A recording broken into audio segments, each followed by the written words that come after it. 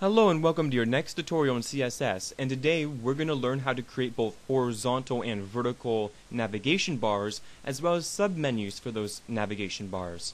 So if you look here on my website uh, you can see here I have a vertical navigation bar and when I hover over the ones with the arrows uh, these little submenus pop up. So I'm going to show you how you can go about making one of these as, as well as a horizontal one that will have drop down menus as well. Um, so yeah, so this is the web page and let's get started. So we have nothing there. In, in order to create one, create some sort of list, and those and this will be a list of links. So you can use either an ordered or an unordered. I'll use an unordered list. That's typically how people will make them. And inside one of these, we're going to create a list element. Now, whoops. Uh, as you can see, I'm going to put the next li on the on the next line. You'll see later why I'm doing that. So first I'm going to create a link here that will go absolutely nowhere. And inside that I'll call it link 1. I don't know, and that could be your home page or something. And each one of these will be its own link. So I'll paste, paste, and paste. So that's going to be link 2. Uh, link 3 and link 4. There we go.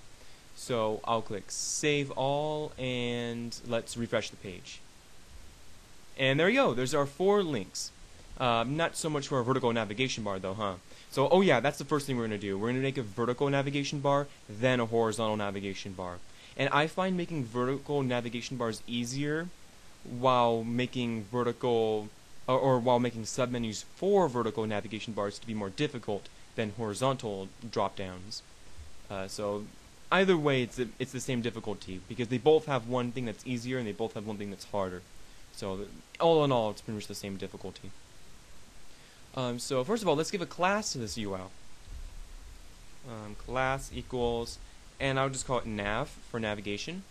And then our default .css, I'll throw in uh, .nav.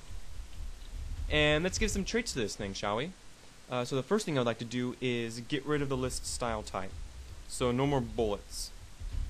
So I'll make that a none. Then the next thing I would like to do is padding. So uh, first of all, let me show you border, because I want to show you why I'm going to mess with the padding. So I'm going to go border and uh, what was the first thing? Uh, solid, uh, one pixel, and let's make it black. And then semicolon. So if I click save, uh, that should show what I want so far. There we go. Okay, so as you can see here, you can make the width whatever you want, and we will modify the width of this box, but notice how there's padding right here. There's also padding on this side as well, so it's the same amount too. I'm not quite too sure what it is. It might be about 50 pixels. That looks, looks like what it is, but let's get rid of the padding on both sides. So padding on the left will make it 0 pixels, and padding on the right will make 0 pixels. And that should only get rid of the padding on one side, the padding on this side disappeared too, but you can't tell because it automatically extends to the end of the page. You would see it more clear after you applied a specific width, which let's make it 100 pixels. And I'll save that. There we go. And uh, is that about all I wanted to do? And that seems to be about, um, I actually wrote this down, so border, width, padding, list style type. Yeah, that looks like all I wanted to do. The next thing I want to do is actually work with the links. So uh, let's work with the links next. So I'll go uh, a.nav.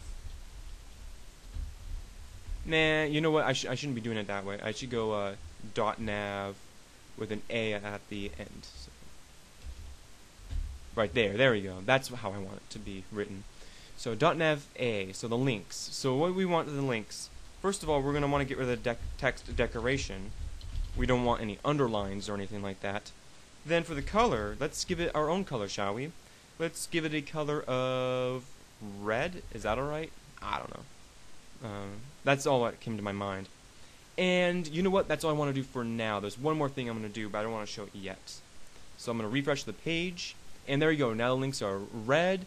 But notice how if I go away from one of those links, notice how my cursor is no longer highlighted anymore. It's not a pointer, but it's a pointer on the link, but not off it. In order to solve that problem, if you want each link to take up its whole box, you can type in display followed by none. So I'll click save and refresh. And, oh, not display none. Oh my gosh. Display block.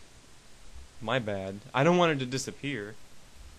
There, there we go. See, see how it's now a pointer all the way across? And you can actually modify, uh, you can put a border borderline between each one if you want.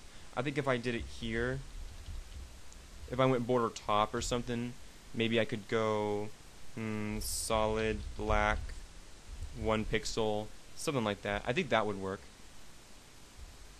Uh, okay, so I would just have to modify that one up there, make that one go away. But other than that, um, that's pretty much if you wanted to add that. That kind of looks ugly in my opinion, though. I don't even want to.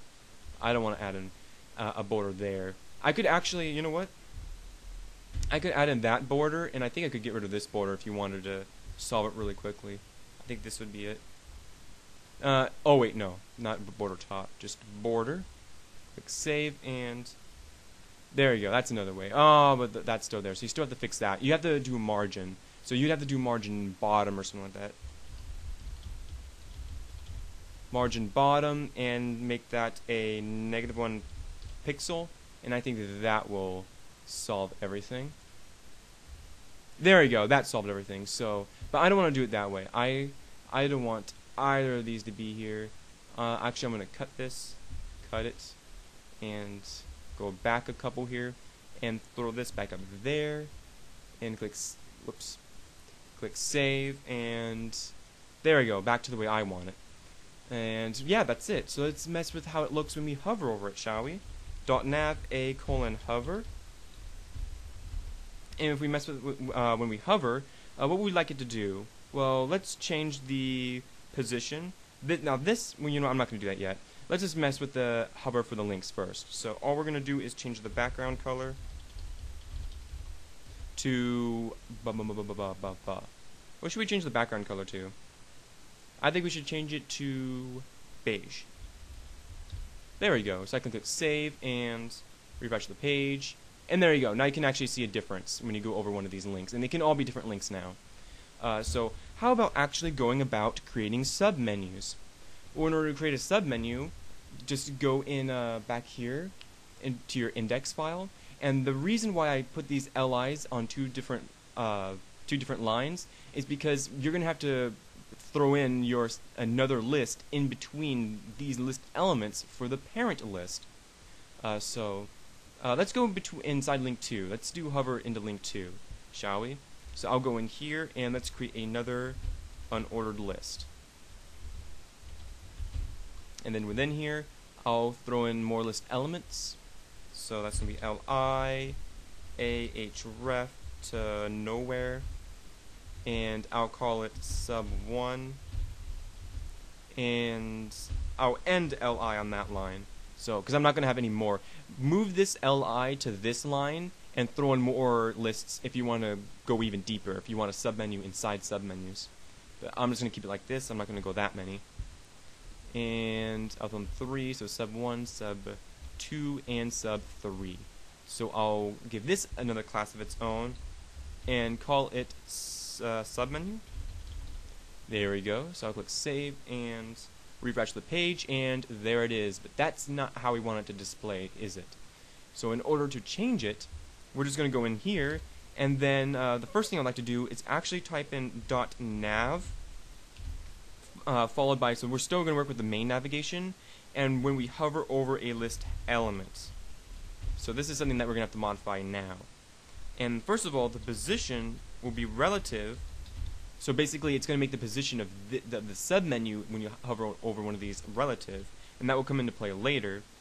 And now that we're working, working with uh, backgrounds, background colors, we can actually uh, move this here. You can, uh, whoops. You can you can just keep this in here and not even use this if you're gonna use submenus. If you're not gonna use submenus, then you would just put it back in here. But this this way you can just use submenus. You click save and refresh the page, and uh, there you go. So don't worry about this. This will change in in a moment, so don't worry. So it looks like it's wrong, but it it won't be. First of all, we have to make this disappear. Okay, so after all that is gone, type out UL, and then after the unordered list, we want to access the submenu.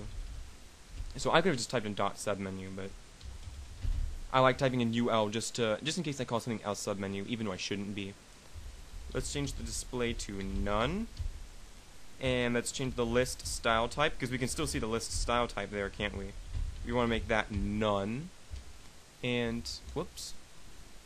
Um, there we go. And then the next thing we'd like to do is, again with the padding on the left and right, you know what? I'm gonna, yeah, that's that's right. I don't want I don't want to keep copying and pasting this. There we go. Or I don't want to keep typing it all in. And there's actually one more thing I need to show you. Uh, a, a, a kind of a side effect of making submenus is when they pop out, you might still, if it pops out on top of an image or text, you might actually see the stuff that's on the main page, the text and whatnot, going through it. Like you might actually see text going through the block, and that would look really, really weird. So add in a z index. That will solve your problem, and whatever has the highest index will overlap anything else with lower index indices. Pretty much everything by default. I don't know if there's any default. I'm going to assume that a default index is zero, but if you just give it an index of one, you won't have to worry about it. It'll any any submenu will overlap anything else that's on the page, so it looks nice. So I click save, refresh the page. It should look a little better, and there we go. So nothing happens when you hover over this. Ooh, I got an email. It's probably junk mail, anyways. So let's actually change it so when we actually hover over that uh, element. So I'll type out dot sub menu, followed by the list element, and when we hover over it. So when we hover over a list element, basically, what will happen to the submenu?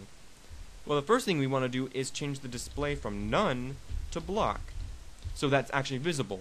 And we're going to keep it a block instead of inline, which is the default, because we want the links that are inside it to go all the way across to the end. So that's why we're using block instead of inline, which is the default. Uh, then we're going to do the mess with the border. And I believe that would be the same. So solid, black, and one pixel. So as you can see, I'm using the shorthand for the borders. And then we're going to do a position. We're going to make it absolute. And left, let's start with zero pixels because I want to see, I want to show you what happens. And zero pixels. And a width of, let's give it 75 pixels. I think that would be enough. So I click save, and let's see what happens when you hover over this. Oh, nothing. Uh-oh. So, uh, I got everything. Oh, you may look really quickly. Uh, oh, whoops. Sorry. Wrong side. Let me cut this. And that's supposed to be on that side. So, Control V. There you go. Click save, and that should uh, do everything for me. And there it is. Okay, so there's the sub menu. There we go. Okay, so now we have to actually move this thing around. So let's move it uh, a little bit further, 100 pixels. I think that should be the same. The whatever, however, whatever, whatever the width is up here, I for the navigation bar itself, I think you need to move it over. So 100 should be perfect. There we go. See, 100 is perfect right there. So there you go. That's pretty much it. And from here, you this is all I'm going to really show you for that but um, you can style it any way you wish from there, and you can make more if you wish from that point. Um, so there you go. As, as, you can see, it only does for the number two.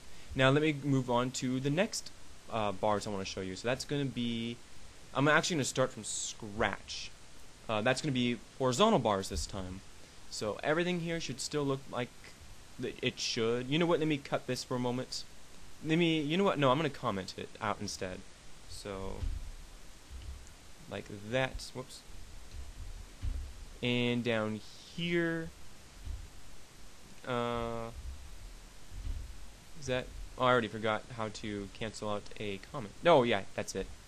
Okay, so I'm going to comment that stuff out, the sub menu. So if I go back, uh, I should only see this. Yeah, yeah, there we go. That's what I want to see. Okay, so now we're going to actually try to make it horizontal, and there's a reason why I did this after the float tutorial. You remember the float tutorial? I showed you how if you made something float, like maybe this element right here, uh, whatever you added on next, whether it floated or not, would go right next to it, instead of down below. Well, the same thing can work for lists. If you make all these float, then this will be right there, then 2 will end up there, then 3 will end up there, then 4 will end up over there. So they'll be side by side.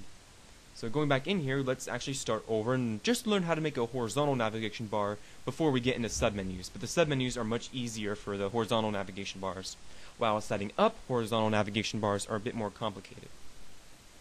Okay, so first I'm going to type out .nav, and then inside here I'm going to do the same thing as before, list style type, make it none. And again, we have to do the padding left and the padding right.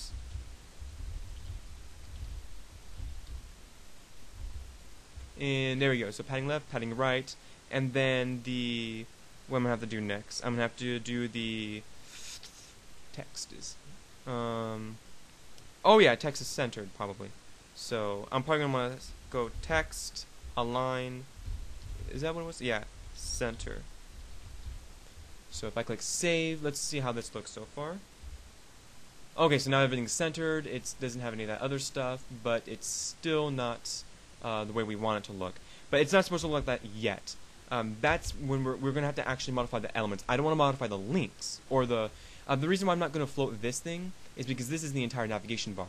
I want to actually float not the individual links, but the individual list elements, the li tags. So, um, dot nav followed by li. And let's now float everything to the left. So I click save, and let's see how that looks. There we go. Now everything's well right side by side. Right, right after link 1, there's link 2. Well, what we can do is actually give width to each of the elements. Each of these, each of the different, uh, what do you call them, list elements. So I'll go width, and let's give them each 100 pixels. So I'll click save, and let's uh, open this up. There we go. And from here, I actually did this in, in when I was practicing. This ac I, this actually happened. Uh, I did this in the links, but I'm starting to think I shouldn't do this inside the links. I should do this inside the element tags, and that's actually styling these different boxes. So I changed my mind. I'm gonna do them right here. So I want solid, right? One pixel in black, and what else do I want? I'm gonna want to margins, text decoration. Yeah, let's do text decoration here. I guess I don't have to do that with the links. I think I can just do it from here. I think that would suffice. So if I click save to all that, let's just see how that looks. Uh, okay, so I do have to do these guys with the links themselves. So I'm going to cut these, and let's actually go into our link next. So dot nav followed by a. So it didn't work the way I was hoping for, but we can just modify the links from in there. And there we go. So we, now we have all of our individual links in there. And you see how it's really bold right there for some reason? Why is that? Well, the reason for why it's so bold right there is because we have one pixel on one side at the, you know, this guy right here, and on this side, basically. So does that kind of make sense? We have, it, this is two pixels thick right there. We have one pixel and a second pixel. So it's twice as thick as all the others, uh, because they're side by side. So in order to solve this, uh, let's actually go back up here. I think I should be uh, messing with the margins right here for the list elements. So I think back here I can go margin left. Is that what I want to do? Uh, let's go margin right. And make it go back one. So let's make it go negative one pixel. And I think that will solve everything. There we go. So now everything's all perfect and nice, and they're nice little boxes. So is that all I wanted to do in there? Uh, no, I wanted to display block again, just like the, just like before because we want the links to go all the way across. So if I click save, notice how it's not a link right here, but if I press F5, now it's a link on either side, and you can kind of see the cursor flash a little bit right Maybe not really, but it, it'll flash. And display block, is all I wanted to do there? Uh, yeah, that was it. Yep, that was everything. So any further, you, you know, creativity that you have, you can do. Don't worry. Uh, I'm sure you know a whole lot more than you know than I can probably show you anyways. So now it's to actually hover over the links. So we go .nav a hover, and let's change the background color. So I'm gonna make it beige again, just because it looks nice on white. So I click save. Now each one changes colors when you hover over it, so that's really really nice. You can change the link colors themselves if you wish. A lot of websites do that. And yeah, that's it. So now next are the submenus. So that was the complicated part. Submenus with horizontal navigation bars are actually really simple. So the first thing we're going to do is, uh, first of all, we need to actually uncomment these guys here. And uh, there we go. So I click Save, and now let's access the submenus. So let's type out submenu. And the first thing we want to do is have display none, because we don't want it to display by default. Uh, as we learned from the last time, the list style type goes back to bullets. So we want to make that a none again. And the last thing we need to do is the padding again, since the pixels... Oh yeah, we don't have to do... Oh wait, yeah they are, right here. So let me just copy these, just to expedite this, because I'm really over time. This is one of my longest tutorials for any web development. Sorry about that. And that was it. And then the last thing we need to do is li hover. This time I'll remember to put it in the right order. Then submenu and display as a block when we hover over it. That is it. This should do everything that I want it to do. So I press F5, and if I hover over this one, ah, there we go. So now everything hovers, so it kind of goes over with the colors here. So that's just a little minor things that you guys could probably fix. Um, I know this isn't isn't completely perfect right now, but you know, you can mess with the border colors, you can mess with everything that you want from that point on. So you can move, um, if you want the text on these to go back to that side. So I could probably do that. Um, could I do that? I think I can do that. Text align. That should be a quick fix. Let's just try fixing this up a little bit. There we go. So now that's on that side, so that should look a little bit better. Uh, we could probably change the border. Uh, where is the border? Oh, I don't have a border on this. It's it's uh, it's inheriting the borders from the navigation bar. That's what it's doing. It's inheriting. But you could probably fix that yourself. That probably won't take long. Probably just a couple minutes at most. Uh, so yeah, I hope this tutorial was helpful for you.